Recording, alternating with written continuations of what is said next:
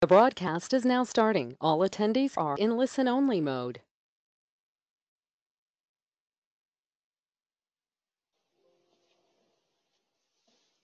Hello, welcome to today's webinar. We're going to wait for just a few moments while we let all the other attendees join.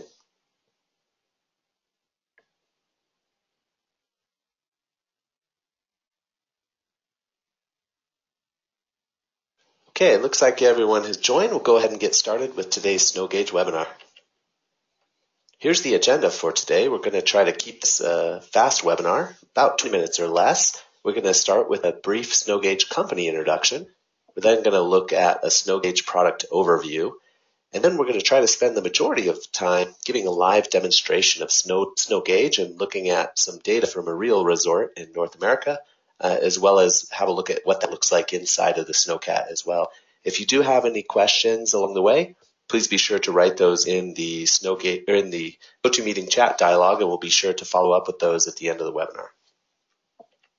All right, here's a brief company introduction. SnowGage is actually designed and manufactured by Juniper Systems, and here at Juniper Systems, we are a specialist in field data collection in extreme environments, we design and manufacture rugged field computers as well as high precision GPS, and those are used for a wide range of applications, generally in challenging uh, areas where people need to collect data.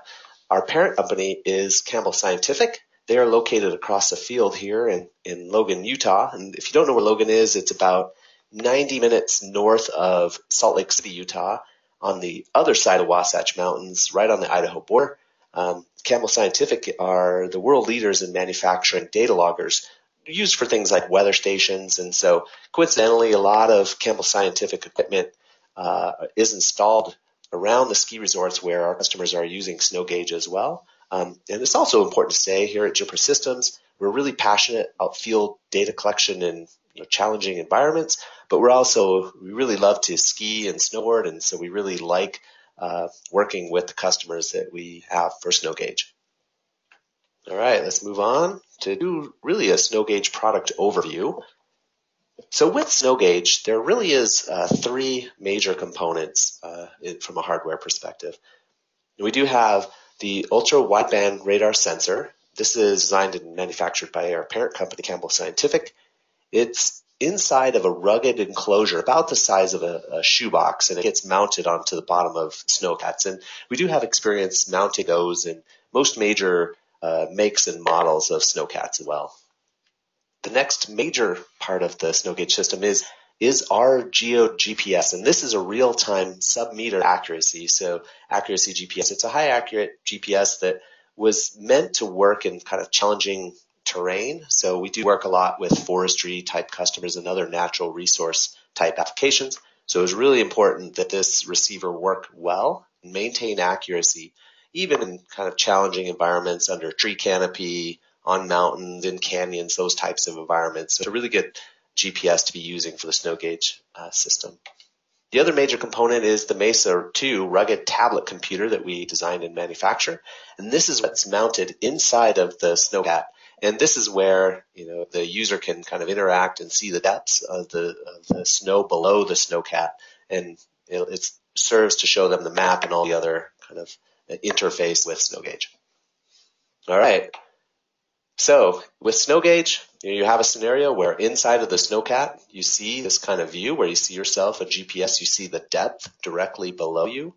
Um, you see yourself moving along in the map. You can look at previous days' data uh, to see how deep the snow is uh, was when you passed over there last.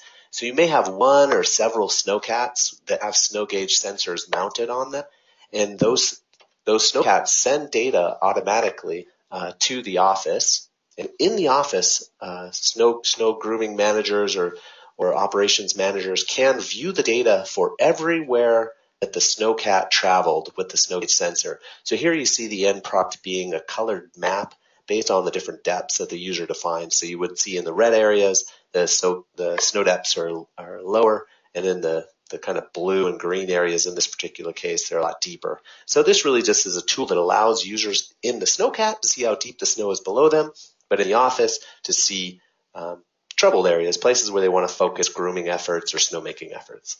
we'll give some more details and uh, take a more detailed look at this in a little while here. All right, inside of the Snowcat, here's an example of a SnowGage mounted installation. So as you're driving inside the cat, you can look over and see the tablet computer and interface with it. You know, and the real benefits of this is, you know, as I mentioned before, you can see that the real-time snow depth, and so you're really saving time uh, manually probing the snow to understand uh, depths and, and and to determine what your coverage goals are going to be. You can also prioritize where grooming is needed most. Um, so you can look at snow depths from previous days, so you know where you want to focus your efforts. You can see your uh, snowcat position on the map, and you know it really allows the operator to move from high to low places to to focus their attention. You know, ultimately, data from the snowcat is sent automatically via cell, or it can be sent wi- via uh, Wi-Fi.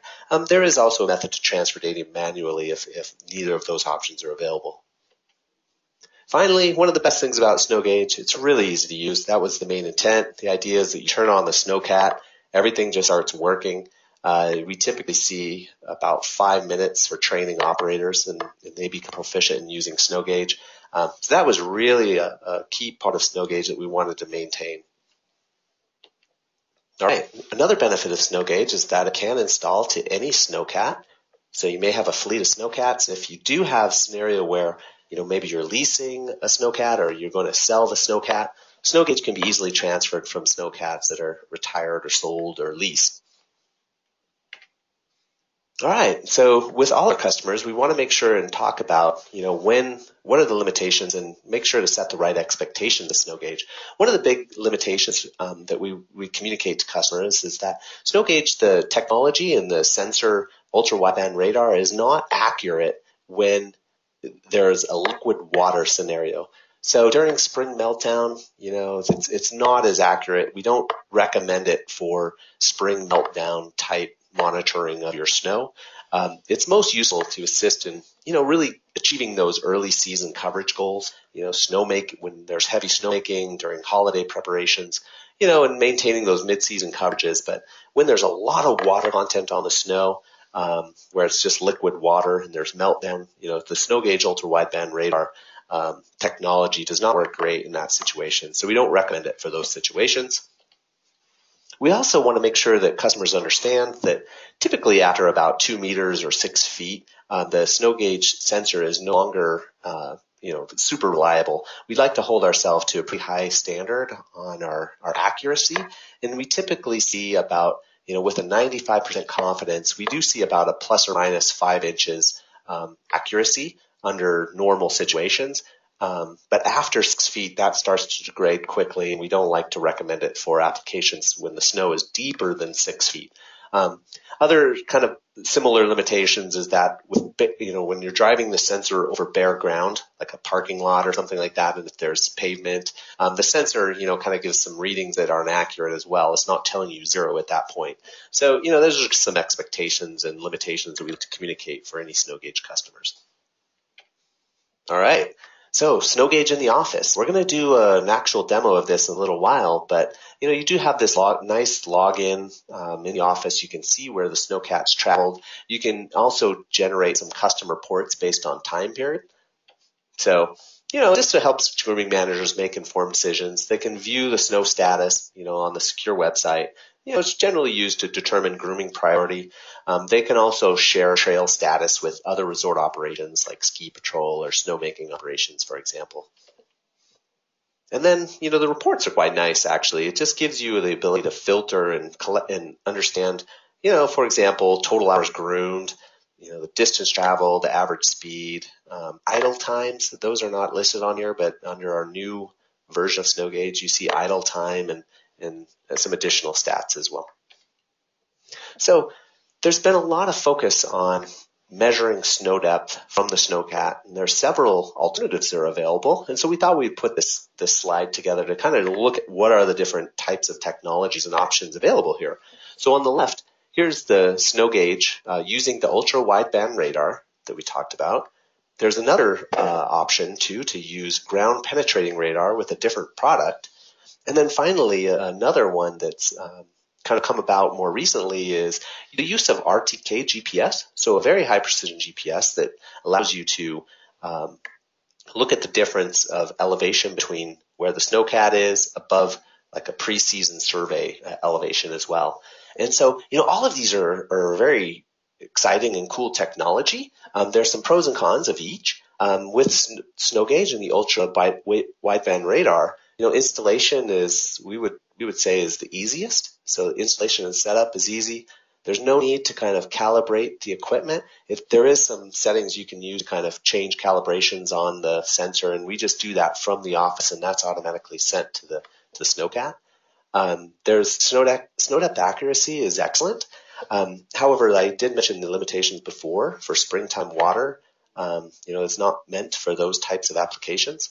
Um, fleet management, you know, engine integration, really SnowGage, we were really focusing on accurate snow depths. That's our primary goal, as well as ease of use. And so we wanted to make simple reports, and we did not and do not integrate with the CAN bus, for example, of the Snowcat. Um, we do we can use our sensor with other companies that do the that focus on those types of you know engine diagnostic and other things, and having SnowDepth installed with those systems. But here at SnowGage, we were really focusing on ease of use and getting accurate steps. And then certainly the cost is is is easily the most affordable compared to the alternatives that are out there. You know, with the ground penetrating radar, um, there's a larger physical setup.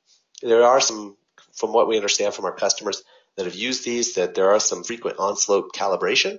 The depth accuracy is is is quite good, and we do like that with ground penetrating radar. You can look at some different, you know, snow sats and statistics as well. Um, that's a pretty cool feature of this type of technology. Um, you know, depending on which software you use, you can have some engine integration similar to SnowGage. It's, you know, depending what software you integrate. You know, the cost is certainly more expensive than SnowGage as well. And then finally, with the RTK GPS type technology, you know, installation and setup is, is certainly most difficult, especially considering some of the, you know, pre-season activities that you have to do. Um, calibration requirement. I think once you get it all set up and running, it you know there's no need for calibration. Um, snow depth snow depth accuracy is is uh, is excellent as well. Um, and it's also, you know, but you do have to make sure you do have ideal GPS conditions. You know, so things like tree canopy and canyon satellites, uh, mask is, is, certainly does impact this type of GPS uh, pretty significantly. Um, there are um, good options here for fleet management and engine integration. And um, definitely this among all the three options is the most expensive. All right. So now, you know, with SnowGage, you do have some flexible purchase options if you consider this route. You know, you can buy it outright. It's going to be under $20,000 and includes all the hardware and software. There is, uh, you know, includes all, there is a small, uh, minimal data hosting support cost for subsequent years to keep it all up and running, but it is pretty minimal for that. Um, with the second option, this is one of our most popular. Um, we do offer a three-year payment option. It's really under seven thousand per year. Includes all the hardware and software, all the data hosting fees. You know, after that third year, that same minimal data hosting fee is required, but um, again, it's pretty minor relative to other costs. Finally, with installation, we do offer remote installation for free. If we have site installation, a lot of, most of our customers, uh, you know, do ask because they're pretty busy, ask us to come out, and then just uh, ask to cover travel costs. So we want to keep that low. All right, now we're going to move over to our SnowGage demonstration in the office. So I'm going to log into an actual resort here. Okay. Bring this over here. All right. Usually, here's what you see when you first see start with SnowGage. I usually like to make it a bigger view at first. So I first make it a big view. I like to turn on all of the trails as well. So I come over here, turn on all the trails. I can kind of zoom out a little bit. Now, SnowGage, in order to look at your data, during the season, this is the most common, the last 24 hours. So you would show up at work in the morning perhaps, then you could see all the, the places that the snowcats traveled in the 24 hours previous. Um, you know, you can also just look at most recent data, so you can see where you know each trail and when it was most recently groomed. In this case, since it's summertime and we're or fall anyway, and we're trying to um, look at some data, I'm going to look at some data from last winter, and we just pick a day that I know uh, you know there was some good data for this particular resort. All right. So here you see everywhere where the snowcat traveled. Down here you see, you know, the zero to one foot, one to two foot, two to three feet. You know, it changes by color. So the green in this particular case is three to four feet. And that is user defined. So you can set those to however you want to see it. So if we zoom in a little bit, you can see where this sensor was being used. All right. Here's a pretty good view. So you can see all the trails that were groomed by this snowcat and everywhere, everywhere it traveled. Now some, some users prefer this view. Zoom in. I can see where those snowcat traveled. So there was two passes right here. And you can see the two tracks. You know, here in the yellow, again, it's two to three feet. In the green, it's three to four feet. So pretty good snow depths in that particular spot right there. Personally, I like this view. I switched to kind of a point view. Each one of these points represent a pulse of the SnowGage sensor.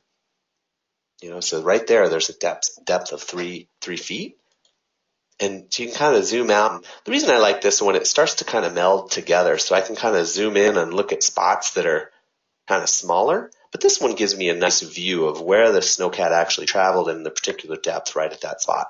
Here in this case, you can see the the, you know, this is probably near their garage. You can start to see where it's low. We're probably around the parking lot traveling over here. You know, see over here, looks like they did some some construction over and maybe perhaps pushing some of the snow or driving along the parking lot. And you can see as they get close to the parking lot, it's getting it's getting uh, not as deep and then kind of more fat in these areas right there. So this is kind of how SnowGage is used. You can look and really use this information to target your snowmaking operations. So anywhere where you see a low spots, you can you know use that to instruct your your snowmaking staff or crew to to kind of build piles in those areas. Um, it's pretty nice. If you had multiple sensors, you can turn on and off by each sensor. Um, or snowcat, for example, in this area. This particular ski resort didn't set up, or we haven't set up um, all their trails yet. But this right here in the ski runs, if you had trails set up, you would just select your trail and it would zoom you to that particular trail.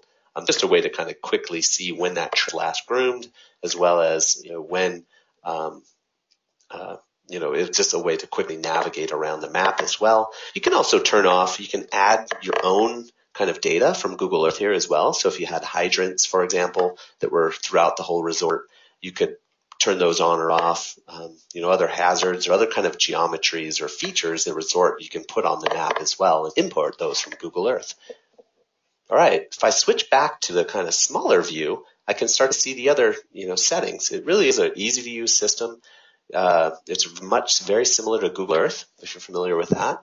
So there are some basic settings. This allows you to, if you are having like a powder day, you can switch it to this, you know, over over to the right, and the sensor works a little better in that environment. Or you switch to the left where it's wet, and the sensor works a little better in those types of situations. If you switch that, then your sensors are automatically updated at the snowcat. Um, however, most users just leave these in this kind of middle of the road, packed groom snow. It works great under most circumstances. We see users very infrequently change these settings. Um, some other things you can do at this spot here is where you define how deep you want to have your snow depths represented. This is a pretty typical or common one. From zero to one foot is red, one to two feet is orange, um, two to three is yellow, and so on and so forth. Um, this is a pretty typical setup, but you can change those um, however you like. This is the spot where you can draw out trails. And by doing this and drawing out the trails, um, this allows you to see very quickly when those trails were last groomed. Um, so it's kind of a nice feature. And this is where you would also uh, import um, data you know, from your um, from like Google Earth, for example, if you had a bunch of, of hazards or um, or hydrants, for example, that were mapped. Finally, here's the reporting. So in the last 24 hours of this resort, no activity. But if we switch over to the date that we were looking at, I'll switch over there quickly. So January 20, we'll go, we'll go January, I think 17th is the same day that we were doing. So on that day, that particular snowcat had a couple hours of idle time, you know, total grooming time of six hours, total distance traveled, acres groomed. So it gives you some pretty nice uh, statistics that um, you can look at from your snowcat as well. So really, that that is pretty much it. It's a very easy to use system. It's really meant to, you know, make the lives easier for the um, for the grooming and operations staff and planning planning their activity. I'll go back, have one more quick look at it. Whoops, change that to January 17th. Yeah, it's really nice. So uh, with that, we're now going to have a quick look at the uh, SnowGage inside of the snowcat. And this one, because it is off season, we just drove around the parking lot and uh, wanted to give you a flavor of what it looked like. Um, now, in this case, this is probably the most common view that our customers like to see. It's the graph view. It's much like a fish finder. So as you're as you're going along, the graph, depending on you know the depth you're at, will change colors like a fish finder and it's moving as you move. And if you get into a low spot, it might dip down and show you red and then it'll start climbing back up as, as the snowcat travels over deeper snow. So it's just, this is probably, like I said, the most common view. You have your big, big old snow depth number there. Um, and at this point, uh, users then can switch to a map view. So if I switch over to that, you know, this would be like a map view. You just see it traveling, following you around, um, and it's you know showing you the the the no depth pulses. And those are set. I think you can change them to about every three seconds. It'll take a, a pulse, but you can change those settings to to reflect um, what you would like, a more frequent or less frequent view of those snow depths as well. Um, there are a couple of other nice features when you when you get into uh, the, you know snowmaking or uh, uh, grooming, you can select dates, previous dates, so you can see the depths. You know, if you're coming up to a trail and you wanted to see what it was like yet the day before, for example, you can see that uh, the trail would you know, it would show you all the colors from before and all the depths from the previous day. So then you would know that maybe you would do a little snow construction or moving some snow around to achieve your coverage goals. One of the other kind of interesting um, features of SnowGage is that you can switch it to a maintenance mode. So if you did make a giant snow pile, you can, uh, and you know, it's getting beyond the six foot accuracy of the snow depth, but you really just didn't want to have that pushing back and forth on the map. You can switch this to a, a maintenance mode where your depths are not being, re- being recorded. And so you can then uh, flip it back. And when you've got your covered finished product, you can then do your final pass with your, your SnowGage sensor back on. And that way, when your, your map back in the office, it's going to show the end depth that you had um, at the, at the, once you were completed with any kind of uh, maintenance as well. There are some other smaller views that are um, less used, mostly for troubleshooting. You can kind of see data moving in uh, from the GPS as well as the sensor as well, but those are generally not used by any grooming staff or management. All right.